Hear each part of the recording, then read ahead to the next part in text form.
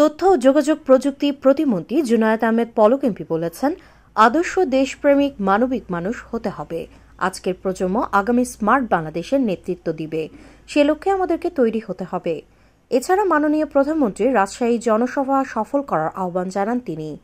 শনিবার সকাল এগারোটায় বিশেষ এলাকার জন্য উন্নয়ন সহায়তার অংশ হিসেবে সিংড়া উপজেলার দুশো জন শিক্ষার্থীদের এগারো লক্ষ বান্ন হাজার টাকা বিতরণ এবং বিশ জন আদিবাসী ছাত্রীকে বাইসাইকেল প্রদান করা হয়। উপজেলা নির্বাহী অফিসার এম এম সামিরুল ইসলামের সভাপতিত্বে সভায় বক্তব্য রাখেন উপজেলা আওয়ামী লীগের সভাপতি অ্যাডভোকেট ওয়াহিদুর রহমান শেখ, উপজেলা পরিষদের vice chairman Shamima Haque Rosy, Singra model press ক্লাবের সভাপতি এস এম রাজু আহমেদ প্রমুখ।